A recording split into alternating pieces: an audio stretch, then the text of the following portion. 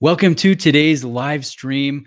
Uh, I see there's quite a few people here. Uh, underachieving watch collector, reserve commander Craig G. Good to see you guys. John Lively is checking in. Howdy, John. Blue shirt Buddha in the house. Chris of the Watch Lounge. It's awesome to see you guys. I hope you're having a good Sunday here. And before anybody says anything, yes, there is no Christmas tree in the corner anymore. I finally started putting some decorations in the room uh, I will probably get one or two comments about that. But uh, yeah, it's it's great to see you guys. I am excited about our guest today. I am joined by Armand Conde Sequeira. I'm sorry if I butchered that. Um, Rosen, Armand, the watch guy, as, as uh, some of you may be familiar with, he runs the Watch Chronicler YouTube channel. He's got a blog, he's got a podcast he's got some he's got some really great content and i'm looking forward to having a good discussion with him. We're going to be talking about watches collecting exit watches being content in this hobby. And we would love to take questions. Uh, jerry is checking in. Hey jerry good to see you and yes michael hardy boys i love the hardy boys. You can see them back here uh, right back there. I've got the ones from like the 50s through the 70s the older prints of the hardy boys. Um, Anyways, yes. So I want to introduce our guest, Armand. Really grateful. He's coming in live from Oxford. Uh, he's, you know, six hours ahead of me here in Utah. So really gracious of him to take some time. And again, guys, if you have questions, comments that you'd like to discuss with Armand and myself, please put it in the chat and I'll, I'll do my best to keep an eye in the chat and, and post those up too. So without further ado, Welcome to Armand. Thank you for coming on the stream today. This is awesome to see you in, I guess you could say not in person, but I can see your face. Well, as, as, good as, as good as. Thank you very much for having me on. Uh, it's it's really fantastic. I've been watching a YouTube channel for quite some time, uh, and it's nice to be able to chat. Yeah, no, you bet. Um, I'm I'm impressed with your journey as well. I remember thinking, man, who is this Armand the Watch guy? uh, he makes great videos. So um, yeah, it's, it's, an honor to have you here. Uh, well, let's do. Um, oh, go ahead. Go ahead. No, Sorry. I was just going to say it's it's much appreciated. I, I think that probably the um, uh, the view of me you had a few years ago was a bit of a funny one because I was still at school back then. So I was sort of doing this in my spare time, um, and extremely lucky to get uh, the opportunities which it's it's brought me. So uh-huh. I'm extremely lucky. Yeah, awesome. Hey, there's a comment real quick from Michael. He wants to know about the modern tourbillon that you're interested in. You know okay. what he's talking about? I, spe- I wonder if you might be talking about Horage, and because I've been doing a partnership with them for I think over a year now, because uh, that's a brand which is it's an interesting one. They're doing a great job of of creating their own tourbillon for a reasonable price. I mean, I'm not going to go into too many details here because you can find lots of content um, on my channel, but uh, it's a clever project. It's an interesting project, um, and that should be coming to the channel in physical form in the next few weeks. I hope. Um, so yeah, that's a completely bespoke tourbillon for I think about seven thousand. Don't quote me, but I think I think seven thousand is about the final price um, francs. So fully Swiss made. Um, so that that I'm looking forward to actually handling and showing. So that, that actually sounds a little bit shocking because you hear about mm. tourbillons that are more affordable, but yeah. the row is from you know Southeast Asia. This mm. sounds mm. like it's a Swiss tourbillon. Wow, I'm looking forward yeah. to that. That's going to be cool. Yeah, it's it's it's a cool project, um, and the the engineers behind it, the people behind it. Once you, they're quite quiet, but once you get to to know them, you get involved. Um, I went to see their production facilities. Uh, uh-huh. Uh, it's really it's really amazing the stuff they're doing. I mean, most of the stuff I couldn't talk about at the time. Yeah. Um, but it's been nice to um, to really see that. Cool. You know, you've got a compliment here Armand could be the voice of God. well, I, am I'm, I'm very flattered. I uh, certainly don't think that of my voice, but uh, but it's appreciated. yeah. Oh, cool. So hey, let's do a wrist check real quick, Armand. Yeah. Um, do you, I'm going to put your desk view I, up here. Yeah, I think that's probably best. So okay. uh, I've got just a few pieces from my collection. I've got the new Deep Star on. So awesome. the new uh, Deep Star on. I've been I've been wearing this for a while. Um, because also partly because I'm getting used to it being my one dive watch because my Seamaster 300 is probably going to have to be serviced in the next couple of weeks. Okay. Um, I've had it for five years now, I think, and it's been in the sea. It's been, you know, I've really beaten it up, and uh, yeah, it's it's in need of some some care. So I'm I'm getting used to wearing this as my sort of single sole dive watch, and it's been great. Yeah. Um, and uh, it was cool uh, chatting with uh, Rick Marei about Marei about uh, the creation of it uh, a little while ago. And uh, yeah, I've, I've been enjoying the history of that one. So What are you that- wearing? Oh, so yeah, let me add my desk view here real quick. Um, I put on the Ah. Submariner. I've got the Hulk on today. Brilliant. Uh, such a beautiful watch. Hmm. But um, you know, I, I I found it really interesting because I for a long time I thought that Yeah. the Seiko 62 MAS diver yeah, from 1965 kind of came up with that interesting Yeah. case. That's not the case, you know. Uh, it, it actually came from uh, Jean Richard, their their Aqua Yeah. Star 60, which your watch that you're wearing yeah, kind of has, and so it's cool that you have that that you have that original design language on this modern chronograph diver with history. I think that's really neat. yeah. It's So- it's a cool. It's it's a really cool project. I mean, clearly it's come from the Doxa sort of experience of the the background of the brand. So I guess Uh-huh. it's not too surprising that it's pretty well engineered, pretty well designed Yeah. um, for for what you'd expect from a proper dive watch. And I think that it was a passion project for the for the the creator. So uh, I'm I'm um, I'm impressed because I think this kind of watch can be difficult to, to make nowadays. I know Longines make their own skin diver uh, with uh, with waterproof, well, you know, water resistant pushers, but um, yeah, it's it's a it's a cool watch, and I've been enjoying it a lot. Yeah, and, and a lot of people don't know that Rick brought back Doxa. He brought back uh, Aqua Dive and now Yeah. Aqua Star.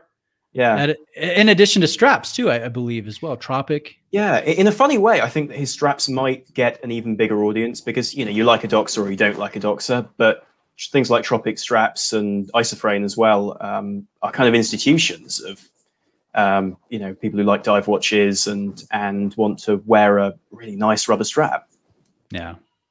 You know, I want to uh I- want to get to know you a little bit more, Armand. Sure. I mean, I'm I'm familiar with you. I'm sure a lot of the people here watching right now are familiar with your channel, but uh, here's some questions. What is your Sure. favorite thing about creating content, and what kind of content do you create? Because you do YouTube, and then you have a podcast, and you have a site. Yeah.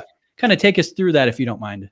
Well, I think that I've come at watches from different angles over the years. Uh, originally, I just wanted to talk about watches on YouTube. I, I enjoyed it. I liked the uh, I liked the ability to create content with very little background knowledge in terms of technical knowledge. I mean, um, Gotcha. of how to you know come up with a blog. And at that time, I didn't have much um, much in the way of experience for a blog or anything like that. And Uh-huh.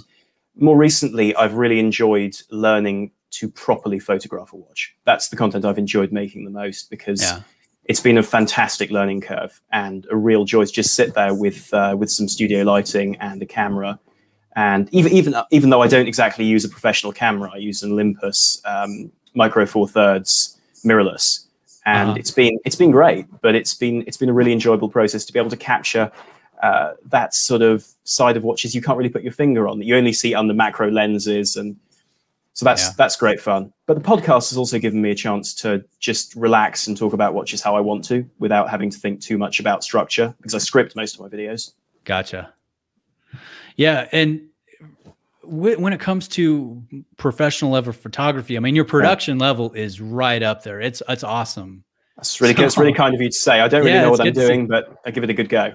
Do you? I know with a, a mirrorless camera, sometimes there's different lens attachments, kind of like with Yeah. the the mirror game. Have you got into different types of of lenses, Yeah. or are you?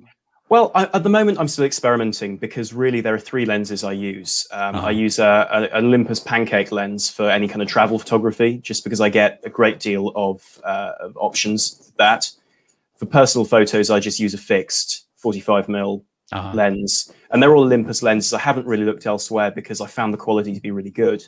Yeah, Um, but then maybe that's an experience talking. And then I have a macro lens from um, Olympus, and I went for the sort of top end of what they offer without going into the pro um, Gotcha. level of equipment. And it's worked really well. I get a lot of flexibility. And once you've dealt with the lighting, which I think is was the biggest learning curve for me, or Mhm. the steepest learning curve, uh, I think you can you can get some really good shots. And I think this is why really whatever you've got, whatever equipment you've got, you can get some really great pictures of watches. yeah.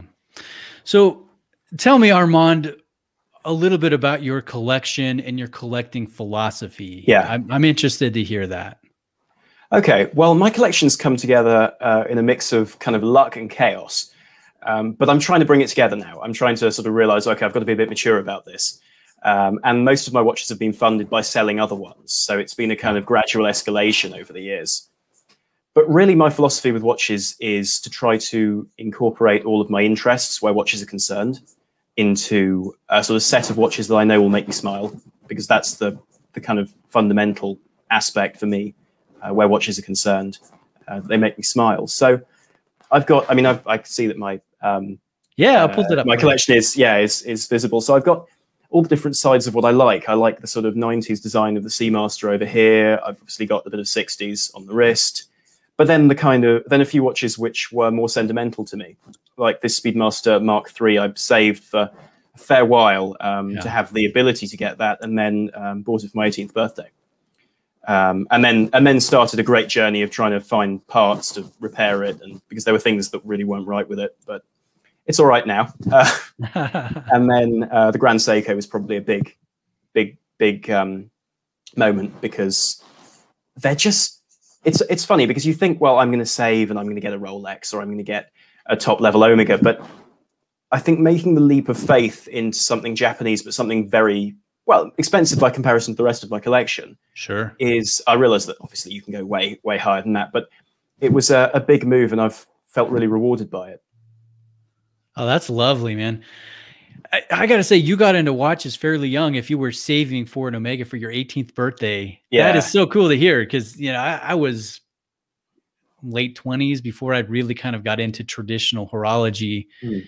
and uh, so that that's really nice to hear that you got the passion at a pretty young mm. age. Yeah, yeah, it was it was pretty early. I mean, I started my channel I think just after my 15th birthday, um, and back then I'd, I'd saved um, to pay for half, I think, of an uh, Orient Ray, uh, and uh, got the other half of the money for, for my birthday. Uh, and that was that was my, that, that was my first dive watch, and that was great, uh, great way to to get into sports watches. Because before that, I'd borrow, you know, I borrow my dad's watch, for example, and he was into dress watches mostly. Uh-huh. So uh, some some of the less well known older Tudors, manual wind Omega he used to have. So some watches like that, but uh, sports watches really have been the one thing which being on YouTube has, have, has taught me about or given the opportunity to learn about. Yeah. You know, we got a comment or a question from Dave. I think this is a good one. Mm. says, help me, Seamaster or Pelagos? I'm struggling to decide. It's a really good question because that was exactly what I came up against when I picked up my Seamaster. Um, and for, from my perspective, I, I, I really like the Pelagos. I was going to save and get one. I thought that's gonna be a great, um, great watch all round. Titanium, the bezel's amazing, uh, the bracelet's fantastic, the movement's great. But I put it on the wrist and I just didn't like it. Yeah. And that's something you can't really get ready for. You see it in the window and you think, wow, that's amazing. Tried on, couldn't wear it. that's got to be a little bit of a letdown. Um, it was, yeah, it was a real letdown. Did that make you feel like you were settling, I guess, for a Seamaster then? Like, yeah, this is my second choice? Not not really, because I the, the Seamaster was a it was a sort of it wasn't an impulse buy, but it was it was not the thing I planned to buy that day because I bought it used um, for a decent price. I think they're actually worth more weirdly now than they were back when I got that, even yeah. in that generation. I mean, um, and I was going to get a an 8500 caliber Planet Ocean. Yeah, I thought that would be a really great place to get into the Omega uh, world or ecosystem, I suppose. Sure. And I saw that, put it on the wrist, and thought, mm, this is the better watch for me.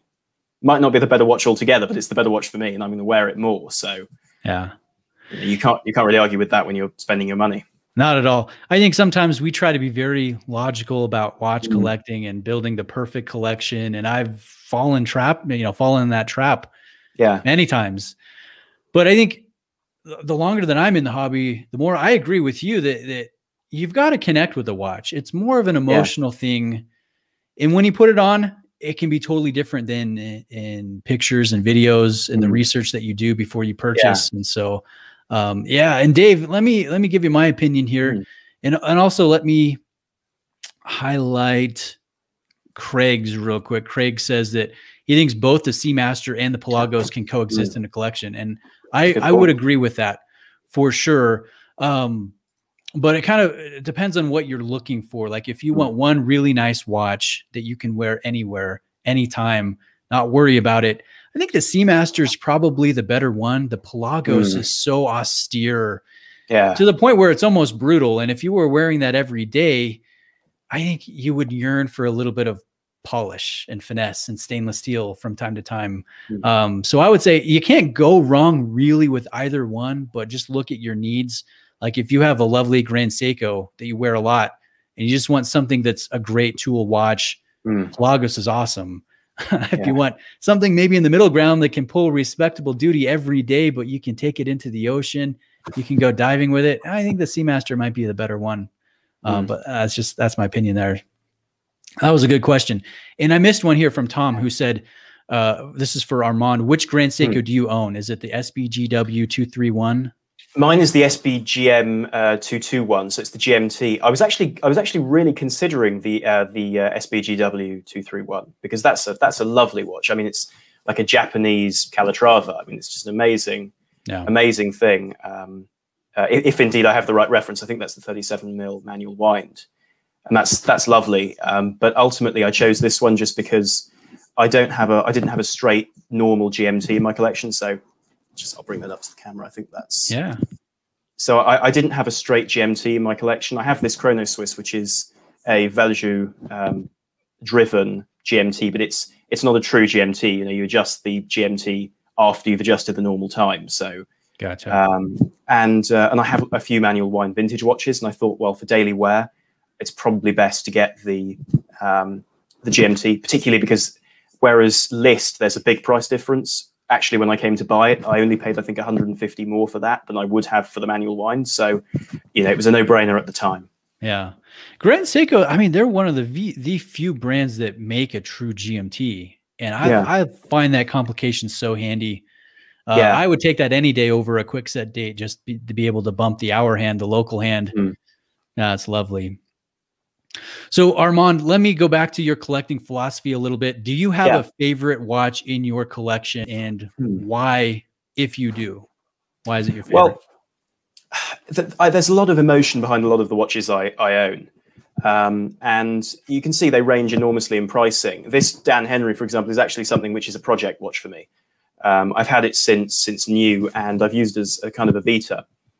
And oh, about mm, eight months ago, I wasn't wearing it much. I knocked it hard uh, a few months before that and just hadn't picked it up. And I'm aging that, so um, I'm seeing what I can do to really give it a vintage look. Um, so that doesn't really count. But of all these watches, my Speedmaster means a lot to me because of the birthday kind of connection and, and also the amount I've invested to try and get it to work. So, you know, inevitably you, you get you get um, uh, attached to something. Also because I like the fact that it was a technological dead end. Um, it was kind of when Omega thought, well, let's try. Well, with Lemania maybe, um, let's Yeah. try and make our own. Let's try and make our Moonwatch movement into an automatic, and fol- there followed a chaos of gears that I think is eight and a half mils thick. Um, just the movement and you know, planetary gears and all sorts of chaos. Um, but I like the fact they tried to do it anyway. Yeah. You know, I reviewed the modern Mark II. Oh yeah, And, and that thing surprised me at how fun it Hmm. was. I'm like, this doesn't even feel like a Speedmaster. This is all kinds of fun. Um, yeah, I have yet to see a, an original, or a, I guess you could say now a vintage Mark II. yeah. They're, they're, they're a bit they're odd because when I saw the two of them, because I was originally going to get a Mark II, I saw the Mark II, and this is after having seen the remake, which at the time I really couldn't afford. I just couldn't justify the expense. Sure. Um, and also, I sort of wanted something vintage, but um, I found that the original was. I felt as though I'd, I'd I'd handled the wrong one first. I should have handled the vintage first and then the modern. Uh huh. It just felt odd because it was like looking at a it was just like, like looking at a worse version of the same watch. yeah, and that's and that's bad. yeah. Well, hey, there's a comment here that I want to highlight. I think looks pretty Yeah. good from Marco. Watch Chronicle needs a Breguet Type 20. Huh. I feel that would be perfect for him. I get him the 39.5 case with the no Mm. date. What do you think about that Uh, watch, Armand? That's a nice thought. I came close to seeing, to buying one of those, and then I saw the service price, um, and I was, I really, I, it was the same reason why I never went for a Zenith El Primero because I really wanted to go for one of those, one of the rainbow ones from I think Uh-huh. the late nineties. Uh, I love the kind of technical look of those. Yeah. But I was quoted 750 uh, pounds Really? for a service, so I'm not sure what that is. Eight, nine hundred dollars Yeah, probably Um, nine. yeah, before parts. Before So, parts, yeah. Before parts, So and that's that like a- sort of scared me off. That could be. I mean, if you found a great deal, that's almost the a quarter of the price of a watch used, right? Yeah, I mean, if you consider the base caliber, then it's not inconceivable that that's more than the price of just replacing the movement. If you were if you were replacing the movement at um, um, industry price, I mean, you know, that's that's a lot of money to to put into a watch like that. And yeah, I, I just I just got cold feet before going for something like a Breguet Type 20. Now, I'd love to add a pilot's watch to my collection, like a nice pilot's chronograph, maybe a Sinn 103. Sure. Uh, maybe one of the new manual Hanharts, uh, like, you know, really attractive watches. But for me, the Breguet for the time being is uh, is out of reach. Gotcha. Well, that kind of segues into the next question. What's Yeah. the next purchase? And do you have Hmm. quote unquote a grail watch? Where do you want to go with Yeah. your collection? Well, there have been a few sort of directions I've considered. Um, a few months ago, if you'd asked me that, I would have thought maybe I was going to sell a fair proportion of the watches in there and maybe get a Lange Saxonia. Yeah. um, because I thought, oh, that would be a really great way to bring together the collection into Uh-huh. one thing that I could just just really enjoy. Um, I very quickly realized that was a dreadful idea in terms of everyday wear uh, and keep myself happy. Uh, particularly after I handled at Christmas, I handled the uh, Richard Lange Jumping Seconds, and I looked at this seventy thousand pound watch and thought, hmm, am I actually enjoying seventy thousand pounds worth of it? And I came to the conclusion, no. You know, it's a it's diminishing return with that, and uh, I did I wasn't feeling it. But in terms of the next purchase, I would like a pilot's chronograph. Okay. Um, that's that is actually the direction I'm I'm looking to go because for a long time the Speedmaster scratched that um, that particular itch, and uh, it doesn't anymore. It's more of a space watch for me. Um, it's yeah, it, it doesn't really fall into that category. And with my watches, I I do feel that I if I buy with my head, I don't tend to keep, but if I buy with my heart, they're watches which stick with me. So I have to find the right watch. I, I hear that. Eh, we're going to circle back to that consolidating and upgrading, I think, in a minute. Yeah. Uh, let's take a couple more questions. Tennessee. Mike asks you Are you full time with YouTube and the blog and the podcast? Yeah, so I am at the moment. Um, I am at the moment. I've been kind of figuring out what I want to do um, with uh, with all of the content because I've realised that as a sort of one man operation, it's a heck of a lot to get um, to get get out the door. So uh, it tends to be a case of trying to figure out which form of media is the best for for any piece of content. But I am full time at the moment, so um, so really it's things like sponsorship and um, all the revenue which I can get from different different elements of the um, the business which keeps the lights on. So that's great. I don't know if that's going to carry on into the future. Um, I, I don't know. Perhaps it won't, but but it's been a great time to really explore watches and also understand what I want to do if I do do it part time. Um, there's nothing like having the time to really consider how you want to keep up the content because there's no way I'm backing out of the watch world now. No, you can't now. no, exactly. I'm stuck. I'm here forever. yeah. Uh, On that note, guys, I want to shamelessly kind of plug Armand here. If you haven't checked out his channel or his blog or his podcast, I would encourage you to check it out, subscribe, help him out. I mean, this is this is his livelihood right now. He's full time. So let's Thanks. Support. it's really kind of you. yeah, no, let's do it. Let's help each other. This is awesome. Yeah. No, it's uh, well, you know, we all pull together if we're working in the, the same the same field, the same area. You know, we all help each other with different opinions, different uh, different forms of content. It's that's what makes the current YouTube watch world so great. Yeah. Hey, let's let's hit another comment here from Dave. Can you guys Mm. also talk about micro brands? So many. Is there brands to embrace, or is it just buy what you like and not worry so much about the mechanics? Hmm. What do you think, Interesting. Armand? Interesting. I think if we're looking at micro brands, there are some which spring out, um, and also it's sometimes difficult to tell where micro brands begin and end. Because I handled two uh, NTHs, oh, um, I, I think the consensus is NTH, but uh, I handled those a few, few uh, a bit, a bit over a year ago, and I was really impressed by what you can get for five or six hundred pounds. Um, and I think that embracing them is more difficult, and it becomes more and more difficult the more you know about the people behind the brands. Because uh, I mean, I don't, I don't know what you hear. I imagine we hear different things from different people, but there's always a lot of whispering in the background of the watch industry about who did what to who, and yeah, um, and I do hear those. Yeah, who uses the good factories, who doesn't, who cuts exactly. corners, blah blah yeah. blah. Yeah, it is, and, and, that's that's sometimes tough to separate from a really good watch. Yeah. Um, I particularly, I particular one particular example, um, and I don't think I'm in much danger of offending him because I don't really know him.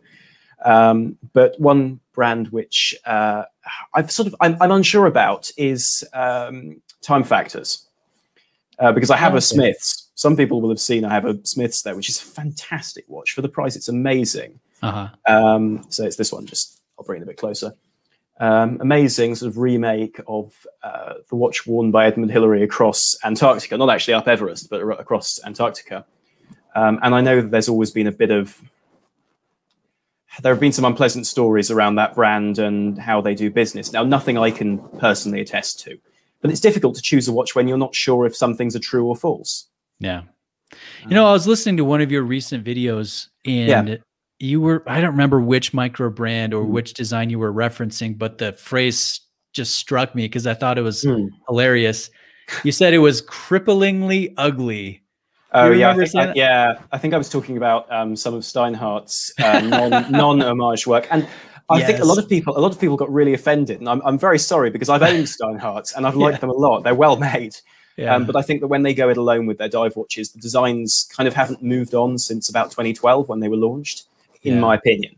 Sure. And I think that they could do with some work if they want to kind of move away from the from the homage image they have, because I think that the Steinhart um, OVM, so the mill sub, has become such a, a almost a brand of its own that I think that if they ever want to move away from that, and I I don't know if they do, but if, if they did, I think they need to think carefully about how their designs are, how their own yeah. designs are. Sure. You know, to answer your question, Dave, from my perspective, um, I have a hard time connecting with some micro brands because I've, you know, my, I guess you could say my collecting philosophy over the years has changed and I'm no longer interested or impressed by homage watches, even mm. if they do carry, you know, crazy amounts of value. Yeah. Um, uh, that's a personal thing. I know not everyone will agree with me, and that's okay. So I know a lot of micro mm. brands, uh, some brands just make their living by doing homages of Omegas and Rolexes and Longines and whatnot. So for me to be really invested or interested, mm. that micro brand has to have an original design. And mm. it's hard to come up with something original that is not just out there or maybe cripplingly ugly yeah, I, am I'm starting to regret that actually. All right. Oh no, you shouldn't, man. I I like that. I thought that was good. Um, because it emphasizes how difficult it is to come up with something that's different but mm. powerful mm. and has substance to it. Yeah. And um, let's say Ming. I've yet to see mm. a Ming in person, but that is a micro yeah. brand. I guess maybe they're an independent brand. I, again, like Armand said, it's hard to see the line sometimes. Yeah. But when, when a brand can come out with something original that really works and resonates with the watch enthusiast community, I mean, uh, they sell out quickly now. And I, I can see the reasons why. So for myself, yeah, you can embrace micro brands, but I, I think it, it's hard for me to do it these days. It has mm. to be a really special watch for me to really get excited about it, I guess, because I do think there's good value to be had for micro brands, for mainstream brands, mid-level brands, luxury brands. It just it depends on how much emphasis you place in various aspects of a watch, if, if that makes sense. So, kind of a long mm. answer to your question, Dave, but uh, it's interesting you it's interesting you mentioned Ming. I'll just interject because uh, yeah. before, before we move on, um, when, when, I came across those, and I've only handled one once, so I you know I add that um, proviso. It was at a some sort of watch meeting. I can't remember exactly, but it was a journalist who happened to have happened to be working with them and took them out of his pocket. Um, and uh, I feel like a fool now. That was three or four years ago. I should have bought it off his wrist, um, yeah, given how hard they are to get hold of now. And it was it was a nice GMT. Yeah, um, I feel like a fool.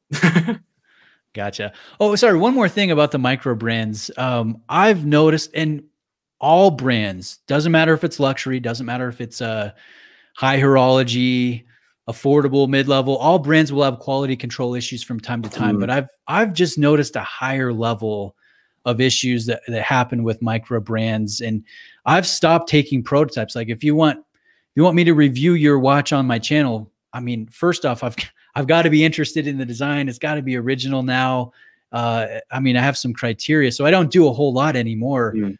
But I don't do prototypes anymore because I mm. mean, so much crap in the dial and you name it. I've seen issues, uh, and it seems to happen on a higher level with micro brands than with mainstream mm. brands. Um, take mm. that for what you will. I, I don't want to come across as too negative, but Dave Dave appreciates appreciates the the um, mm. the responses here. And yes, Dave, you you did miss what we were wearing. Uh, I'm wearing the sub. Let me pull it up here. Yeah, wearing the sub, and we'll do one more wrist check here for Armand. Yeah, I'll, yeah. So I'm wearing my Aquastar Deep Star. So yeah, yeah bought, bought this late last year and been enjoying it since. Awesome. Mm. Kevin says, I think Ming are a bit overhyped. Hmm. Um, I, I, don't know. I mean, when something sells out in a number of hours, isn't the hype real about it though? You know, hmm. I don't know. It's, it's, it's a tough one, isn't it? Because with watches, so much is not really down to physical value; it's down to how much we like them. So, I suppose if the if the uh, the buyers are there to, to to get the product, and the quality is definitely good, I can say that quality yeah. is good. You might not like the product, but the quality is good. Uh, then you know you buy what you like, and if a lot of people like it too, you're oh, you're in a difficult position. Hey, you know, I want to go back to what you were saying earlier about how you toyed with the idea of selling a majority of your collection and getting yeah. a Lange.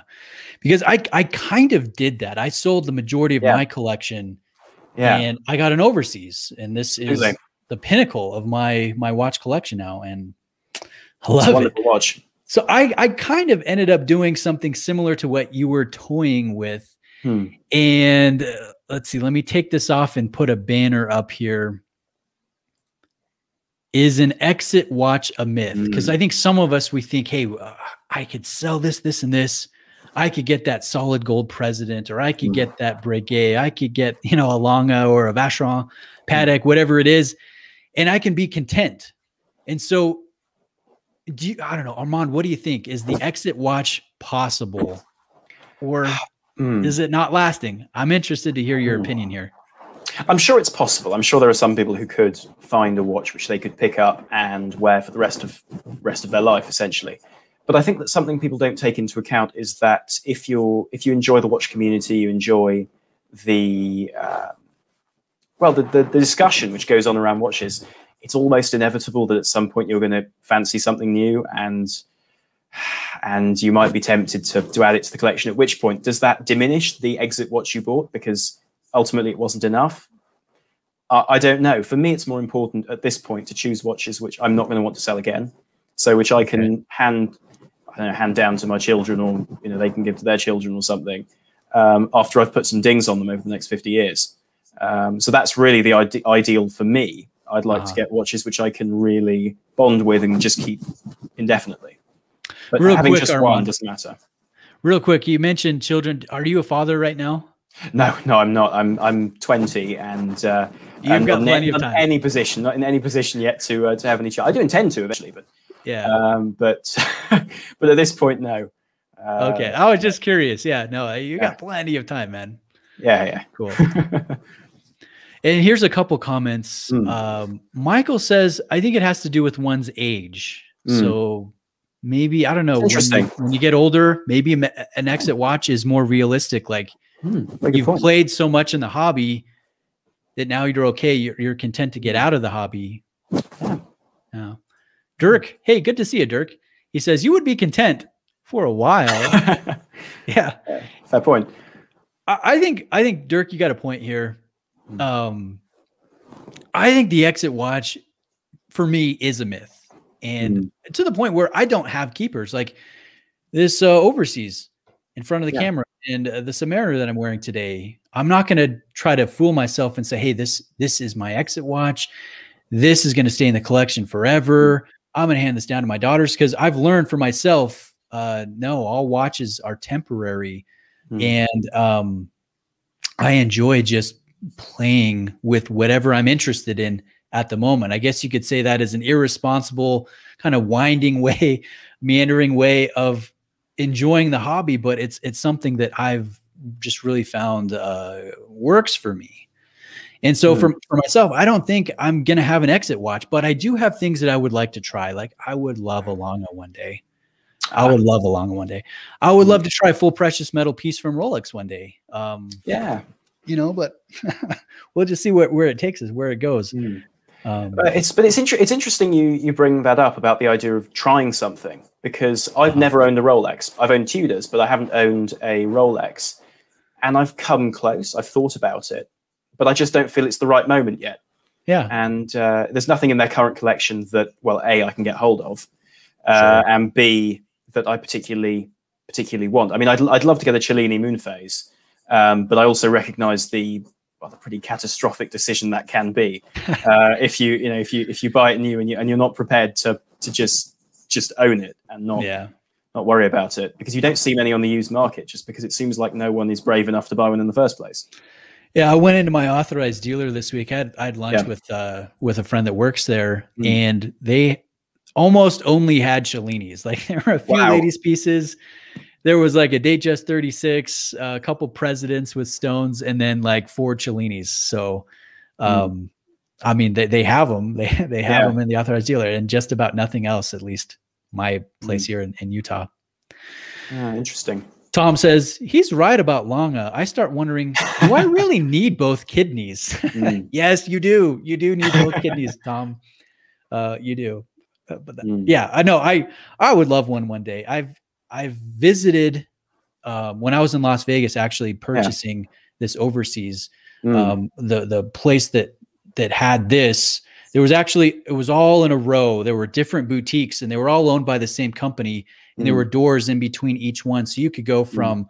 Vacheron to IWC to Cartier, and there was a small uh, section mm. uh, that you could sit in kind of this private area yeah. And we we looked at a few watches and mesmerizingly beautiful. Uh, the detail work was next level. So I would mm. love, yeah, I would love to see a Lange one day in the collection.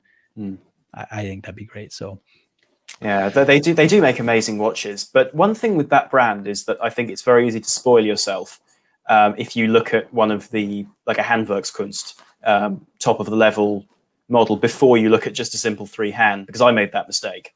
Really? Um, and it kind of it kind of made it difficult um, because I found that I was looking for more, even though what I was presented with was already marvelous. Oh, hey, I just noticed this comment. I want to highlight it. Mm. Are you really collecting watches or watch experiences? Mm. I love that. I, I, collect watch experiences, no doubt. I don't yeah. collect watches. That's a great yeah. way of, of stating that. Mm, I'd have to agree with you. I'd have to agree with you there. Uh, I think I'd be kidding myself if I told myself I was actually collecting watches. hey, here's another one: Is lasting watch contentment possible mm. in in collecting watches? I know it kind of ties mm. in with what we've talked about earlier. Hmm. Does the contentment is it does it last? Like can or you always have to hunt for the next watch and then you're you're content again, but I don't know. What, what do you think about this, Armand? It's you know it's it's a tough one because I think it's a more general question than the ones we've talked about, which are, which are a bit more pointed and kind of went to a direct um, answer. Uh-huh.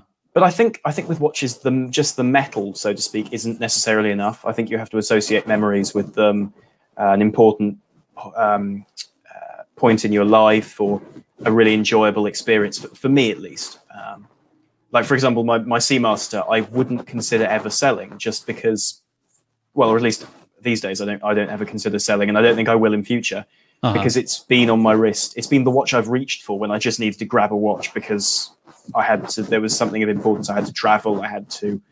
Um, I was going on holiday. It was just always the watch I'd pick up because it's the same as a large number of other watches. So I'm not too not too worried like I would be, say, with a Submariner uh, or something like that yeah. about taking it to slightly less ideal places. Uh, it's tough, it's good looking, it's versatile. And because I associate all those memories with it, I don't think I'd want to part with it. Yeah. I, I think uh, here's a thought that, that came to me when it comes to watch contentment. I don't know that it's necessarily lasting even as as Tom says, saying, I don't know if I had an 1815 in rose gold, mm. I could just sit there and be happy on dialysis. Um, I think what's more important is just having no preconceived notions. Like if you go hmm. into a watch, you know, a watch boutique, or you go to a watch meetup and you, you take a look at a piece that maybe you've only seen pictures of and you thought, nah, that, that would never really be the watch for me. And mm. then maybe you put that oyster quartz on and you go, yeah, yeah, this, this works really well. As long as you have that open mind and mm. um, you're not being pigeonholed into what you think is acceptable or logical, then I think you will have a more enjoyable time in the hobby. Mm. And maybe that, that, maybe that relates to contentment. Maybe you, as long as you have an open mind and you're enjoying what you love you're making those those uh, emotional connections experiences with watches in the long run i think you could look back at your time collecting watches and even if you didn't have necessarily keepers you could say i was content i had a great journey and i'm glad that i did it hmm. so i don't know that, that's my that's my answer there hmm. about about that hmm. uh, let's go to another question here guys if you have any specific questions for armand please put them in the comments here. We'd love to interact with you guys some more. Sorry about that. Forgot to plug in my laptop. oh, you're fine. No, just no a second. Here. Yeah, uh, no, there no we go. At all. That's better. Okay, let's go to favorite watches. Let's talk about. Mm. Um, let's talk about a few things. Armand, what makes one a lovely or a powerful watch design, mm. and conversely, what makes a poor or an ugly, a terrible watch design? Let, us stop explore this idea here. I think I think that well, for me at least, and this is obviously personal because whoever looks to watch will see beauty or, or just a really hideous look based upon their their own notions of, of what they like. But for me, there's a difference between good looking and important or powerful. Mm-hmm. Uh, there are a lot of watches I think which are objectively ugly, like the Seiko Tuna, which I still think are fantastic looking because they just do what they they they have so much function, so much purpose in that design that yeah, it justifies the look. Um, sure. I, I, I, don't know if I could wear one just because well, I think with a big one, uh, one of the large thousand meter ones, I just worry about um, uh, chipping it or taking the coating off um, a bit too much, and uh, you know, that would that would put me off. But anyway, um, that's beside the point. But I think that a watch not being derivative is really important to me. I think a watch needs to stand for something on its own. That's why I don't think I could ever have, well, not necessarily not have an homage, but I couldn't have uh, an homage to a watch which actually is still in production. Yeah. In my in my collection. That's a good point. Um, yeah, because I don't I don't mind um, an homage, and this is a funny one. This is a, a Mercier from uh, I think 1973. I can't be sure, but I think it's 1973 um, if there are any experts, and it's got that Buren micro rotor movement in it. Um, oh, that's lovely. Which is which is which is cool. And this is a you know, it's a gold piece. They're not particularly rare or valuable, um, but clearly it's had a, had some Datejust influence. Yeah, uh, you know, it's I mean it's 20 years after the Datejust, and uh, well, more bit, well almost almost 30 years after the Datejust, uh, and clearly it's got some date just in it, but it sort of justified itself with its age. Um, it worked in its time, and so it works for me today. Um, so that for me is a is is is not derivative. Um, yeah. But but yeah, no derivative is uh, a watch being derivative is for me the biggest problem with it with its design, because good looking or ugly is just opinion. Well, and, and also I think there's a distinction between derivative and a straight up copy. Like the dimensions sure. are so nominally close. Like it's like, yeah. come on, guys, come on yeah. now. Yeah. Uh, no, is that watch? Is that capped gold? What is that? Or is that that's no? Precious? That's that's full precious. So hang on, I'll, I'll take wow. it off the the um, I'll take it off the um, uh, the the little cushion. Um, and it's got one of these. I'm not sure if how visible that is. I don't know how the focal how focus on this is, but it's got an internal cyclops. So it's where they've cut it out of the inside of the crystal. Here, let me maximize that real quick. There Let's we see go. What we can do. Yeah, so it's it's got a, a cyclops cut out of the inside of the crystal. Oh, so it's lovely. actually it's actually a flat acrylic on the top. If I can just get it to to focus, um, it's a flat acrylic, and yeah, it's it's 18 karat gold, but it's it's tiny. It's I think 34 and a half mils. So it's uh you know it's a little watch, uh-huh. and it's uh-huh. got none none of the water resistance of a of a Datejust, but uh, but it's got that look, and uh, well, I like it for it. And you've got it on a, is that a Stingray I saw? That is a Stingray. Yeah, it's uh, sort of handmade Stingray, which I got hold of a while back. It was actually in a review, and since it was made for me, they didn't want it back, so I ended up just adding it to the collection, which um, you know, and it's worked. It worked quite well on this because it's an 18 mil, um, sorry, 19 mil lug width, and I haven't got any any other strap to match it. So, gotcha. you, know, you, have, you, you use what you can fit on the watch. You know, here's a here's a a good question from Marco. He says, I don't know. I got to tell you, I have contemplated the Gevril Tribeca once or mm. twice. So, but that might yeah. go go down to can you get a Paul Newman?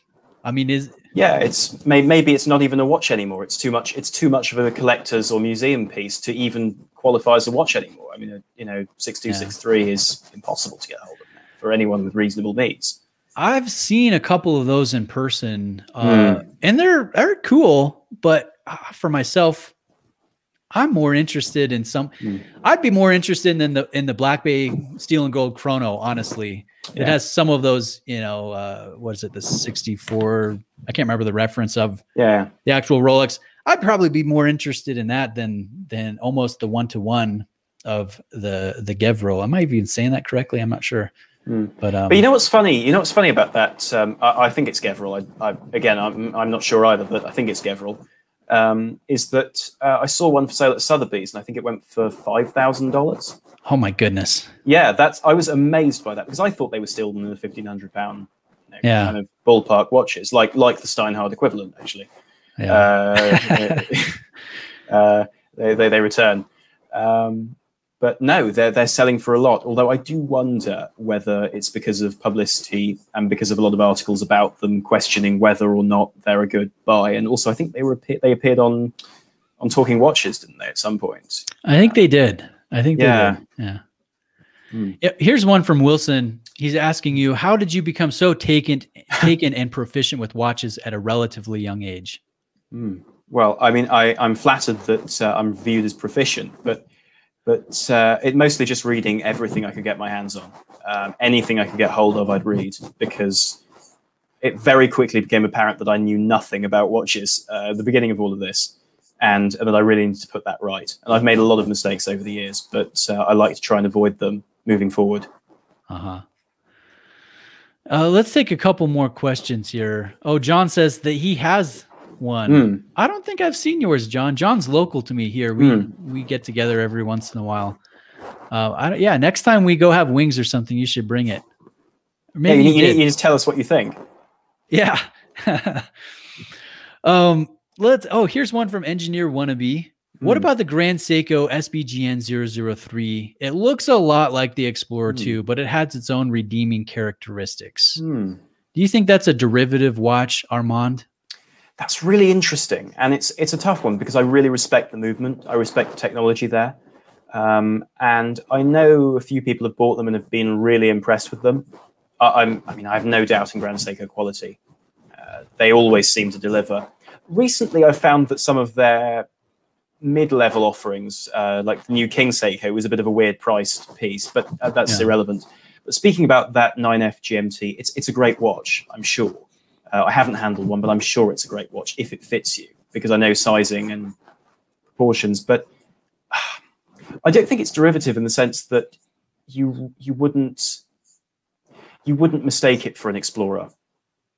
Sure, it, it's taken the same format, but then so many watches have taken the Submariner's format. I, I mean, in that regard, yeah. the Blancpain 50 Fathoms was unsuccessful in the sense that it's the Submariner which is replicated. So maybe it's the same thing with with that that the Explorer 2 is just such a good design for what it does. It makes sense for the Grand Seiko to look like that. Yeah.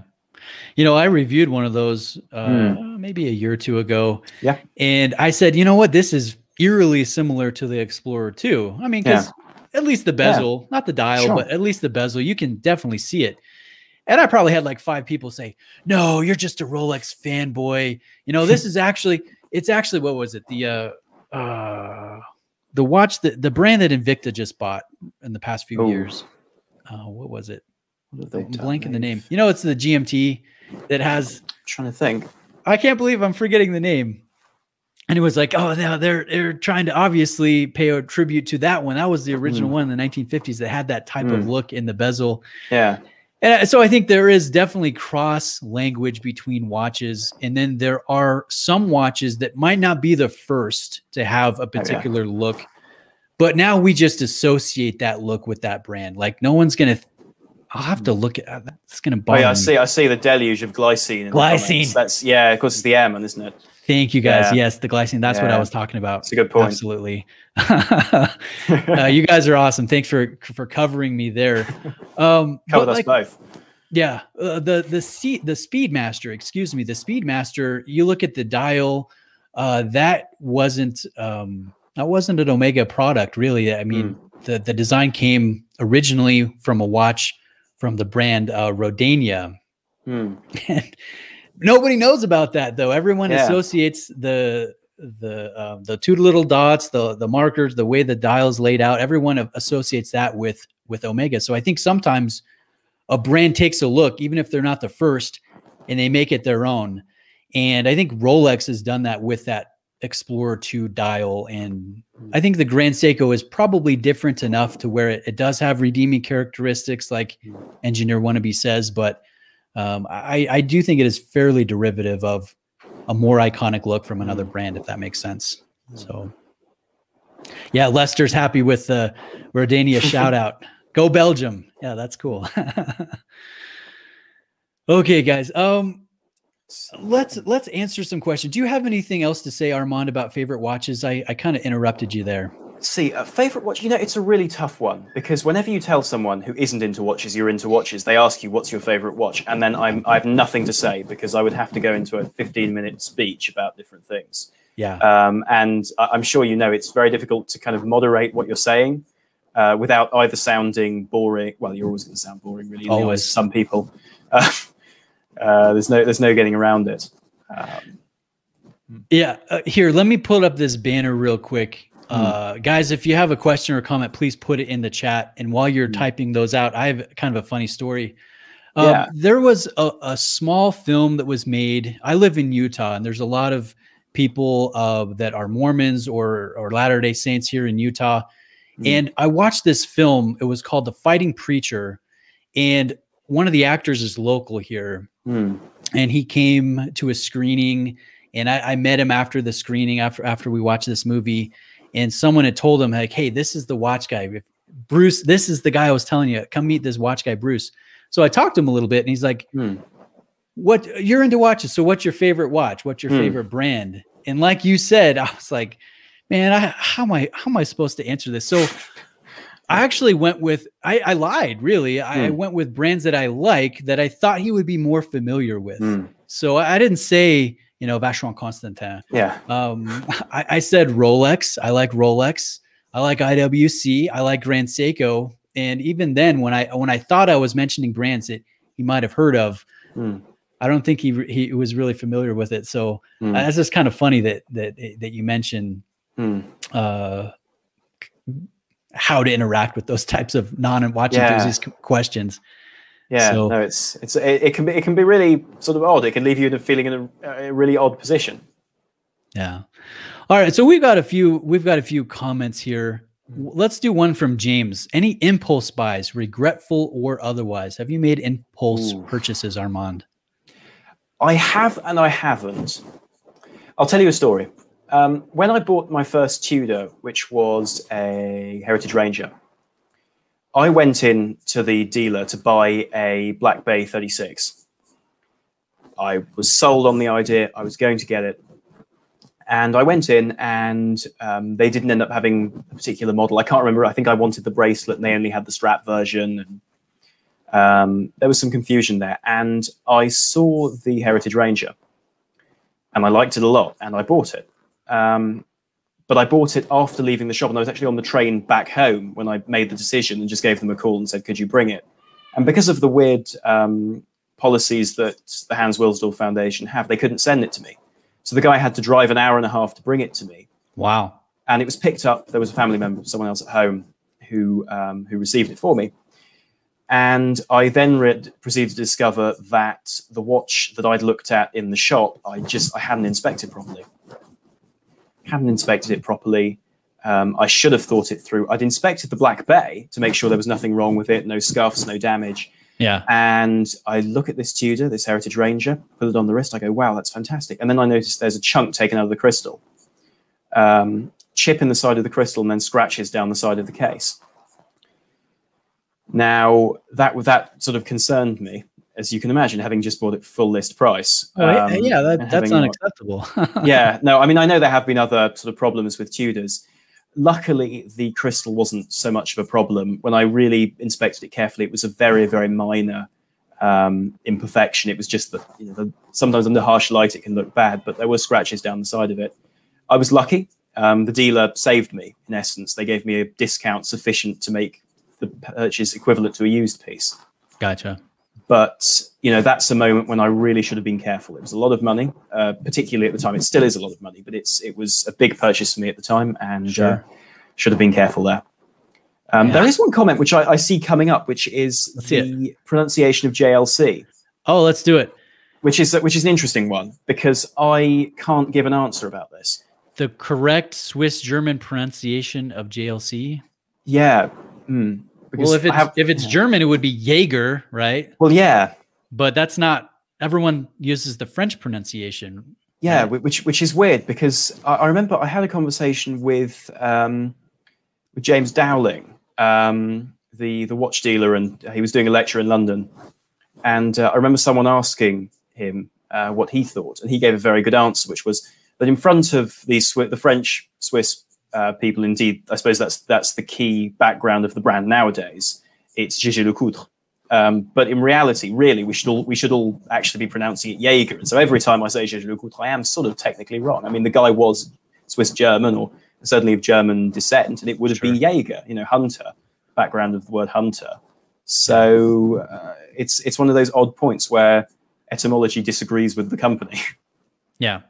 Well, you know what? I've actually here let me uh let me try to point to it i've got this hmm. atmos clock here oh yeah from the I 50s. the beginning yeah so i actually got that I, about a week and a half ago locally and it is pre jlc it's just mm. LeCoultre and mm. i'm hmm. probably even saying that wrong but i mean it, it's cool I, will have to we'll do a video on that sometime mm. but um yeah, I mean, there were two, they're basically two different um, entities that came together mm. at one point. And so I mean, how are you supposed to properly pronounce it? I would mm. say pr- more like the French than with the German, even though yeah, Jaeger is, is definitely the way you would say. Yeah, no, yeah. but also their, their branding's been odd for quite some time because I think, I don't quote me on this, but I think um, I read that they tended to use different versions of the names for different markets. Because okay. I know, as you say, it's it you that would just be a LeCoultre on, on the dial uh-huh. because they did they didn't tend to put Jaeger on American watches. I think there was some tax reason for case. I think the cases were made in the US for those watches. Interesting.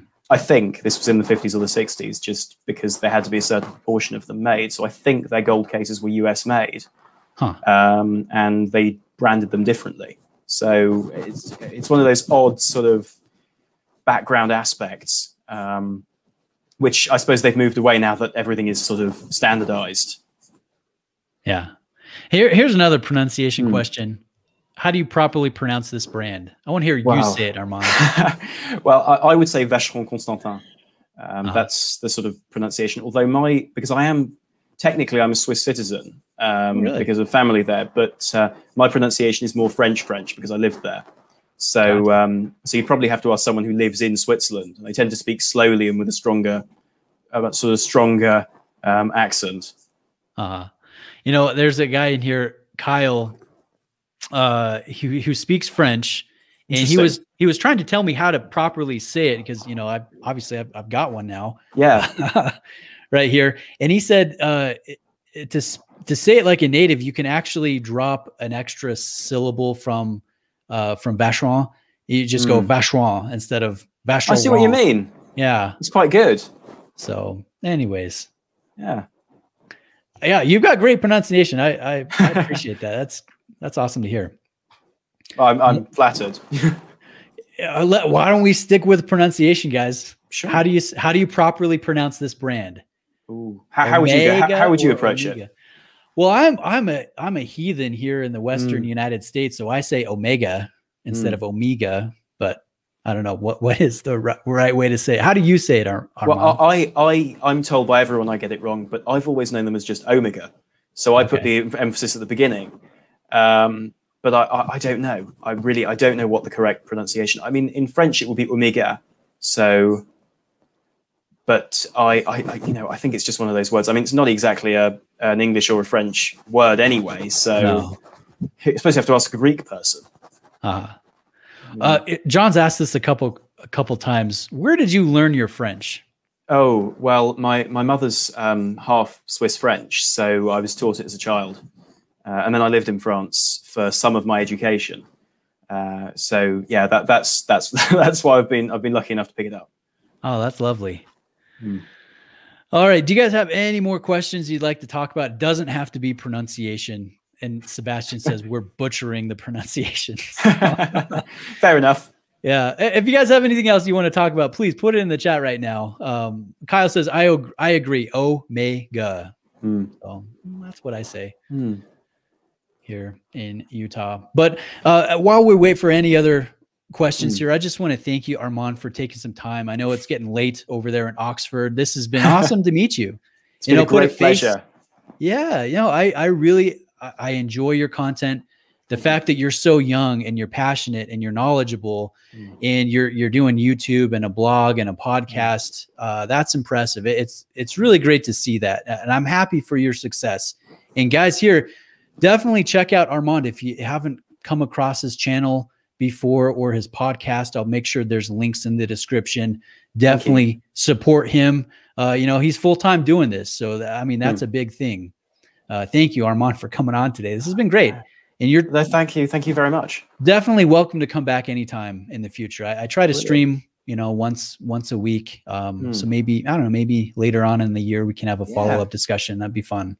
Yeah, absolutely. I mean, I'm sure we're going to see some uh, some interesting releases before before too long. So I'm sure by later in the year um, we'll have plenty to talk about. And if I, if I if I do some live streams, you'll be certain to be uh, uh, to be on the guest list. Oh yeah, that'd be great. Hey, you know what? Um, real quick, I probably shouldn't share this, so of course I'm going to do it. But Yeah. I have a source that shared with me a few pictures. I don't have them. I'm not going to post them. Yeah, I'm not going to name my source, but I do know that there's going to be some pretty cool Breitling releases coming out that will surprise us. We're going to see a triple. Hmm. interesting. We're going to see a Right. tourbillon. We're going to see some really cool Hmm. stuff. Moon phase, stuff that we haven't seen from Breitling in a long, Hmm. long time. I'm Breitling have been on fire over the last few few months. yeah, They've been putting out some really cool stuff. Some and they've cool been stuff. rising in market share too. I, I, see, I saw Yeah. the Swiss exports every year slowly. They've been uh they've been raising. I, I think that's great to see. I I'm a fan of, Mm. of what Breitling's been doing. Yeah, it's kind of awkward for me because um, one of my, and this is complete chance, um, a uh, an ex um, school friend of mine is, I think, the nephew of the former um, CEO of Breitling, Oh really? um, uh, and uh, and so it's always a bit a bit awkward when you sort of see the the kind of improvement we've seen, to be quite honest, since, Yeah. since it's changed hands. well, that's a good thing though. But you know, yeah, we need these things. All right, here's a question from Wilson. Where do you see yourself in the watch Hmm. media world in the next five to 10 years? That's an interesting question. Um, it's a it's a complicated one because I do intend to. I, pro- I probably will drop back to part time for a number of reasons. Partly because I'd like to continue my studies, Oh, really? um, just just to have some uh, uh, just to have sort of some further knowledge because I came straight out of school and went straight into running this, and uh, Yeah. I feel like I could be a, a better journalist, a better uh, someone who's better qualified to talk about these watches. Maybe, maybe I'll, pro- I'll probably stay on YouTube. Um, I'm sure YouTube will be, if ever anything were to go from my contribution to watch media, it would be uh, the last thing would be YouTube okay. because it's just it was the first the place I started and it's the place I feel most comfortable. But um, I'd love to start writing for some other publications. Uh, that's something I'd really love to do.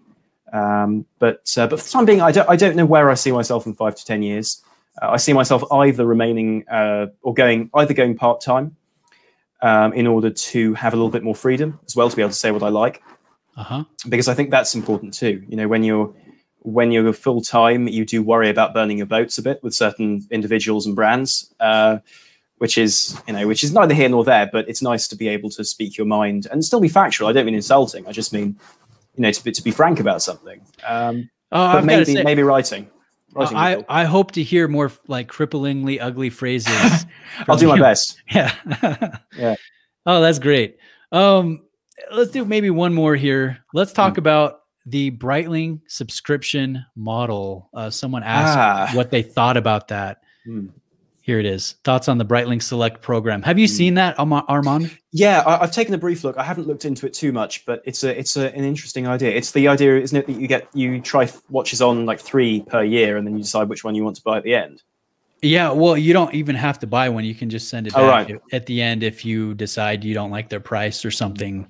Yeah. I looked into it because I like the idea. We're always, uh, at least I flip watches all the time.